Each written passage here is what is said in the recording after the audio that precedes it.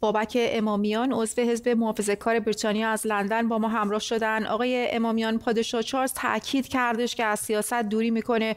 با این وصف پادشاه چطور می‌تونه تاثیر در تغییر شرایط بریتانیا داشته باشه؟ اصلا تاثیر داره یا نه؟ شما همونطور که ملاحظه می‌کنید ایشون داره به ملت اتکا به نفس بیشتر میده همینطوری که مادرش انجام داد. منتها این اتکا به نفس داخلی هست. کشوری هست ملتی هست. مهمتر از اون کاری که ایشون داره می‌کنه داره اعتبار کشور بریتانیا رو در سطح جهانی می‌بره بالا. چون اگه ملاحظه کنید دولت خانم لیستراس اعتبار فوق العاده ای نداره ایشون خودشون به اون صورت یک وزنه سنگین سیاسی در سطح جهانی نیستن. و همینطور وزیر امور خارجش حالا من شخصا نمی‌خوام اسم بیارم یا وزیر داراییش. الان خانم لیز تراست همین دو روز پیش گفت من 200 میلیارد پول لازم دارم به خاطر این سوبسیدی که می‌خوان بدم برای مسائل انرژی. خب اینو باید از جای تهیه کنن. و من چند وقت پیش گفتم که یکی از جاها کشورهای خاورمیانه مثل عربستان سعودی هست.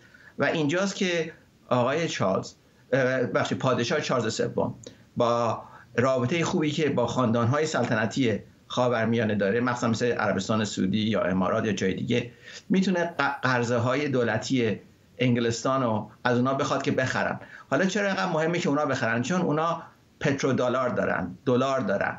مهمه که شما وقتی قرضه دولتی رو میفروشی ارزهای خوب دستت بیاد. مثلا مثل دلار یا یورو.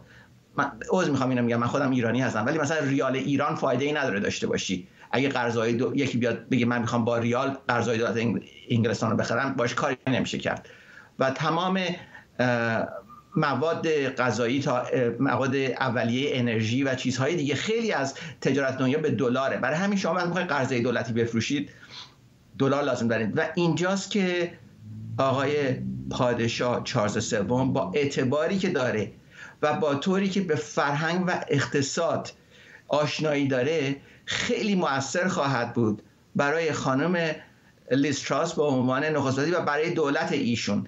ولی امیدوارم کمک ایشون باعث نشه که دولت لیستراس معتاد به قرض کردن بشه. مثل یکی به مواد مخدر, مخدر معتاد حبایت بشه امیدوارم دولت ایشون یه دولتی نشه که هی بیاد پول قرض کنه بلکه یه برنامه درست اقتصادی داشته باشه.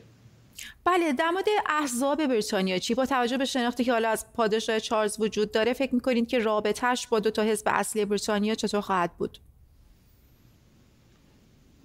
ایشون که همیشه رابطه میانروی داشته و همینطور که این نکنید اون خیریه Prince's Trust به یک میلیون نفر جوانهای که از خانواده کم درآمد بودن یک میلیون نفر از 1976 یعنی الان میشه 46 سال داره به اونا کمک می‌کنه و خودشون میگن کمکی ما به اونا کردیم و توسعه اقتصادی که از طریق این خیریه ایشون Prince's Trust شده یه چیزی بین یک ممیز چهار میلیارد پوند بوده.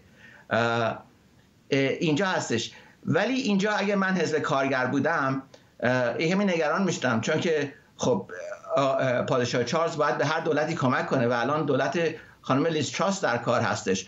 و کلی الان از چالش هایی که در امور مالی خواهد بود از طریق رابطه خوبی که پادشاه چارلز سوم با کشورهای دیگه داره اینا بهبود پیدا می‌کنه. برای همین من فکر می‌کنم حزب کارگر نه با ایشون مسئله داشته باشه با اینکه بچانسی خودشونه که رو کار نیستن که ایشون به اونا کمک کنه بلکه به حزب محافظه کار که همین حزب خود من هست یا به دولت خانم تراست کمک کنه.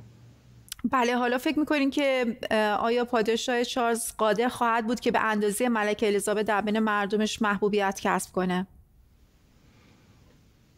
من فکر من مطمئنم. من صد درصد مطمئنم.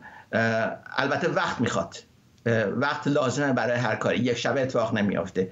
و اعتبار یه چیزی که شما یه شبه دست نمیارید بلکه طول می‌کشه.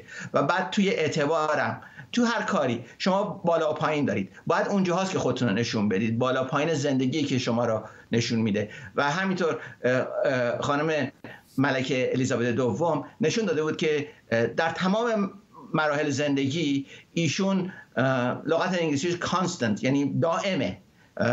هیچ وقت چیز نمیشه. و مطمئنم این خصوصیات اخلاقی خوب و پادشاه چارج سوم هم داره. سپاسگزارم از شما بابک امامیان عضو حزب محافظه کار بریتانیا که از لندن با ما همراه بودیم